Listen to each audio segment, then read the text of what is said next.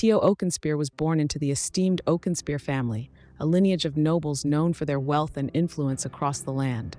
Her parents, Lord Emmer and Lady Celeste, bestowed upon her the privileges of noble life, but Tio always felt different, as if a hidden force lay dormant within her.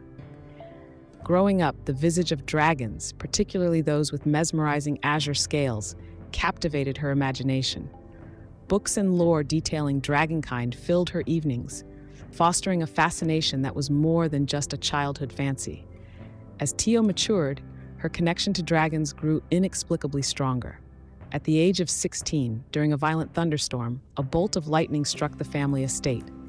Instead of fear, Tio felt a surge of energy, as if the storm was whispering secrets just for her. Before long, she discovered an extraordinary truth. She bore the bloodline of an ancient blue dragon.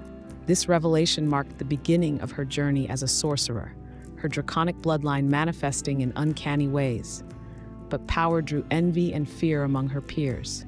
During a diplomatic mission representing her family, Tio fell victim to a mind control curse cast by an envious rival noble. The spell twisted her intentions and turned her against Hajime Elmsworth, a brilliant young alchemist who hailed from a land where magic was as rare as it was feared. Despite the attack, Hajime's empathy and quick wit broke the curse and freed Tio from its grasp. In the aftermath, grateful and inspired by Hajime's resilience and intellect, Tio pledged loyalty to him. Her noble duties combined with her burgeoning draconic powers make her a formidable ally and an embodiment of her lawful good principles. Together, she and Hajime explore the unknown, seeking to use their gifts for the betterment of their world.